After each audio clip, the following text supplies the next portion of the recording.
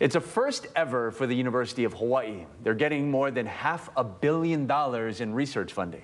Yeah, Billy V's live at UH Manoa to explain why this is important for the school and the local economy. Billy. Thank you very much, Steve Grace. We're here on the University of Hawaii Manoa campus, and that is extramural funding. Uh, that's external investments from the federal government, nonprofit organizations, uh, and also uh, industry to help research and academic activities conducted by the by the university. So this morning we're talking to Jerris Hedges. He's the dean of the UH Manoa John A. Burns School of Medicine. Good morning. Good morning, Billy. Good Dean, to see you. Thank you very much, Dean. Dean, tell us how, first of all, how this benefits what you oversee and how this benefits Hawaii as a whole. All right, thank you. Uh, the funding from the federal government is really key to helping us train our next generation of faculty and learners. Uh, we're focusing a lot of our efforts on health disparities and also looking at some factors related to the latest uh, coronavirus uh, pandemic that we're all experiencing. And these funds are helping us deliver health care and tailor it to the needs of people here in Hawaii.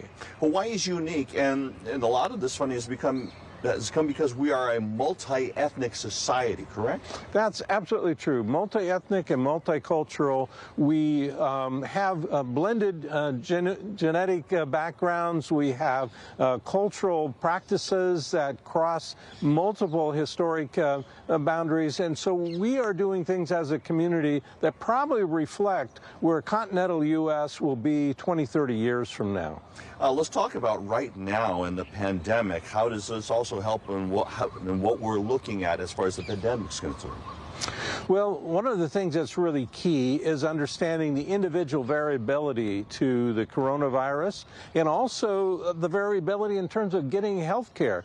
Uh, we know that sometimes there are barriers that exist partly based on where we live, the type of work we do, and our cultural connections. So we're doing our best to understand how to remove the barriers so that we can get appropriate testing and treatment and monitoring uh, for those, but also understanding better how we recover from the coronavirus once someone suffers that illness. Okay, so this benefits us not only with your hiring locally, local faculty, uh, local students, uh, but it also helps just as a whole as to us getting healthier, correct? Absolutely.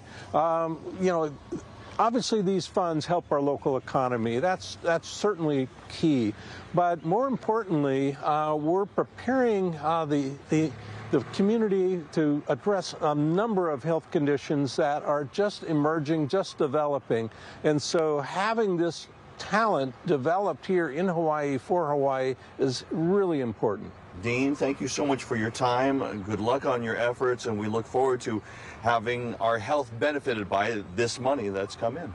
I appreciate that. Thank, thank you, you, so much, Willie. Once again, Dean Hedges with us this morning. Coming up in about 30 minutes from now, we're going to talk to the UH uh, School of Ocean and Earth and Science and Technology about their funding and how it helps all of us. We'll have more for you from UH Manoa in half an hour. Steve, Grace, back to you. Awesome.